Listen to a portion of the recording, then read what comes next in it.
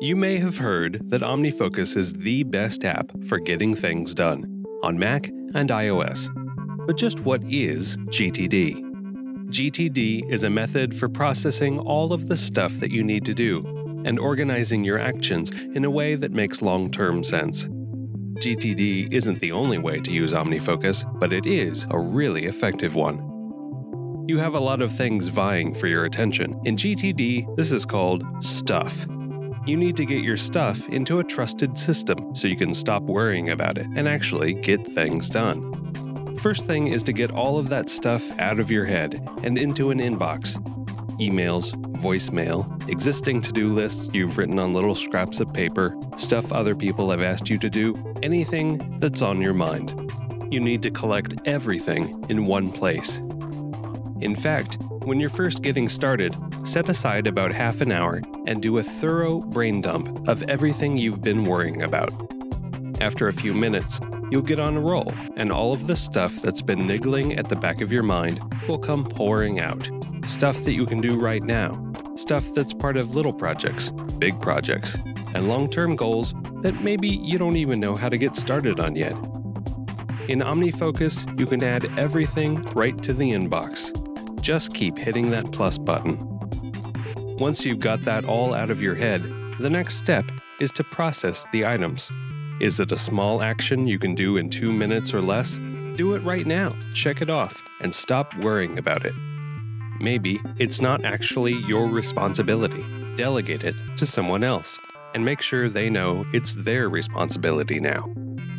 Sometimes you might need to follow up or have an action that you need to do after you wait for a response. If so, you'll need to add this to your deferred items. Everything left over is an item that should probably be deferred, which means that you're going to make it part of a list of actions that you'll get to later, even if later means this afternoon. But first, to get a better sense of where everything stands, we're going to need to organize things. Let's figure out where this stuff goes. Most items that you're going to defer will be going onto a list of actions that you'll get to as soon as you can. If an item is part of a larger project, that's a goal that requires several steps to complete, create a project list to put it in. Perhaps the item from your inbox is actually the name of a project. In that case, turn it into a project and spend 30 seconds or so and think about what the first action is, and add that action to the project. You don't have to list out every single step right now, but every project should at least have one action that is small enough to do to move the project forward. Some of the items might be standalone actions that aren't really part of a project that you could actually complete, but you can group them on a list of similar one off actions. OmniFocus has project types for actions that are part of a larger goal, and single action lists for those household chore type of related actions. And you can put an entire project or list on hold for those someday maybe lists. You might want to further organize your projects by larger categories, like work or art projects. In OmniFocus, you can use folders to group related projects. Maybe an item is something that requires further thought or that you're not ready to tackle right now. In that case, you can defer it until a certain date so that you don't have to think about it until then. In OmniFocus, you can set a defer date for a whole project or just for a certain action.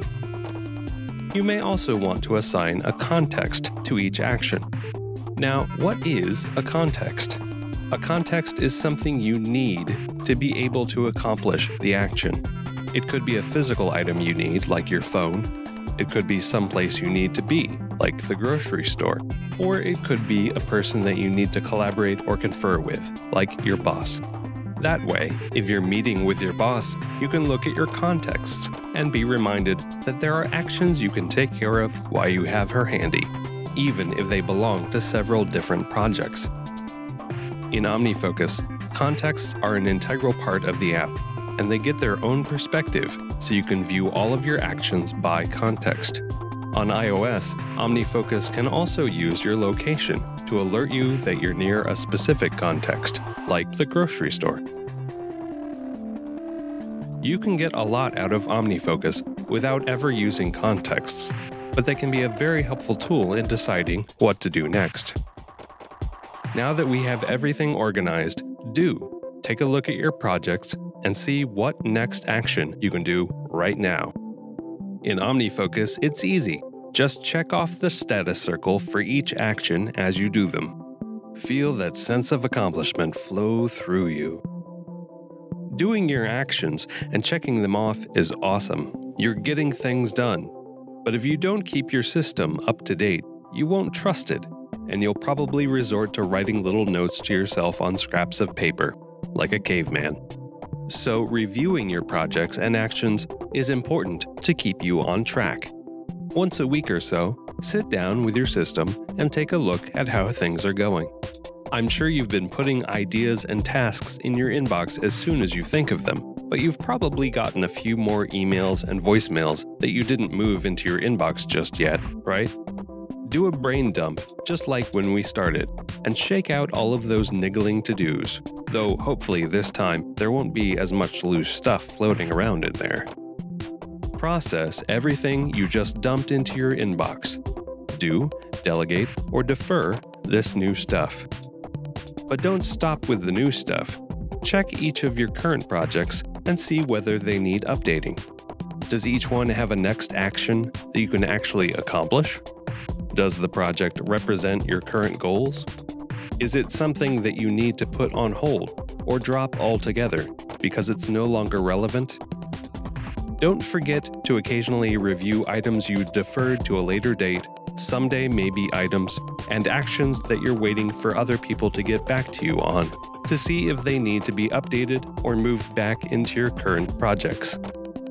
In OmniFocus for Mac and iPad, there's a built in review perspective that makes it easy to make sure you're reviewing things on a regular basis. You can even set custom review intervals for projects, so you can stay on top of both projects you need to keep a close eye on and those you can check into on a less frequent basis. That's it.